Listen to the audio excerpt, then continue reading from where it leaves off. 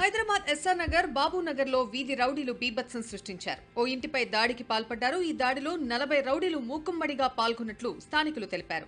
ఓ దంపతులపై రౌడీలు దాడి చేశారు. అడ్డుకునేందుకు వెళ్ళిన వారిపై కూడా దాడి చేశారు. ఈ ఘటనలో వారు కూడా గాయపడ్డారు. రౌడీల బీభత్సం మొత్తం అక్కడ ఉన్న సీసీ కెమెరాల్లో రికార్డ్ అయ్యాయి. ఈ ఘటనకు సంబంధించి పలువురిని పోలీసులు అరెస్ట్ చేశారు. నిందితుల్లో అధికార పార్టీ నాయకులు కూడా ఉన్నట్లు సమాచారం. గచ్చిబౌలిలోని ఐటీ కారిడార్కు కూతవేటు దూరంలోని గోపన్పల్లిలో ఓ మహిళ దారుణ హత్యకు గురైనట్టు ఘటన ఆలస్యంగా వెలుగులోకి వచ్చింది. హత్య జరిగి నాలుగు రోజులు అవుతున్నట్లు పోలీసులు భావిస్తున్నారు. మృతురాలు మహబూబ్ నగర్కు చెందిన వ్యక్తిగా గుర్తించారు. ఆమె ఐదేళ్ళుగా గోపన్పల్లి ఎన్టీఆర్ నగర్లో నివాసం ఉంటోంది గత మూడు రోజుల నుంచి ఆమె కనిపించకపోవడం ఆమె ఇంట్లో నుంచి దుర్వాసన రావడంతో స్థానికులు పోలీసులకు సమాచారం అందించారు. మహిళపై అత్యాచారం చేసి హత్య చేసి ఉంటారని ఘటనా స్థలాన్ని పరిశీలించిన పోలీసులు అనుమానం వ్యక్తం చేశారు.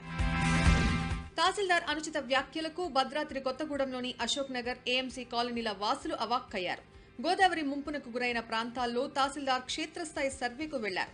బాధితులకు అండగా నిలవాల్సిన ఆయన వారి పట్ల అనుచిత వ్యాఖ్యలు చేశారు.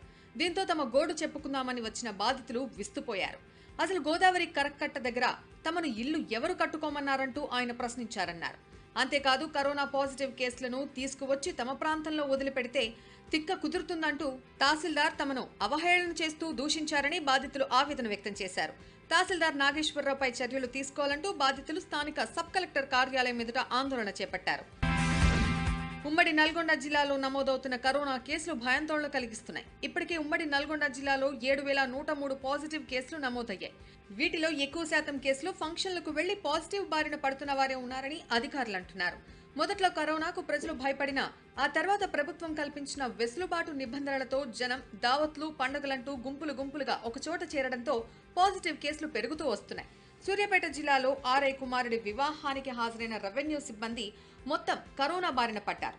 తహసీల్దార్ సహా ఆర్ఐ విఆర్ఓలు సహా స్టాఫ్ మొత్తం ఇరవై మందికి పైగా కరోనా బారిన పడటంతో కార్యాలయానికి తాళం పడింది. సిద్దిపేటలో నిర్వహించిన డ్రై డేలో మంత్రి హరీష్ రావు పాల్గొన్నారు. పట్టణ ప్రగతిలో భాగంగా ఇరవయో వార్డు ముర్షద్ గడ్డలో ఆయన పర్యటించారు. ప్రతి ఇంటికి వెళ్ళడంతో పాటు ఇంటి పరిసరాల్లో నిలిచి ఉన్న నీటి నిల్వలను తొలగించి వ్యాధుల వ్యాప్తిని అరికట్టాలని ఆయన ప్రజలకు సూచించారు. డెంగ్యూ చికెన్ గున్యా కలరా లాంటి వ్యాధులకు కారణమవుతున్న దోమల నివారణ కోసం తాము డ్రై డే కార్యక్రమాన్ని నిర్వహిస్తున్నట్లు మంత్రి హరీష్ రావు తెలిపారు. తర్వాత పలు వార్డుల్లో స్టీల్ బ్యాంకులను ఆయన ప్రారంభించారు. కరోనా వల్ల ఊరేగింపులు సమూహాలుగా నిర్వహించే కార్యక్రమాలపై నిషేధం ఉంది పీర్ల పండుగ సందర్భంగా ఓల్డ్ సిటీలోని ప్రధాన రహదారులు అన్ని మూసివేశారు.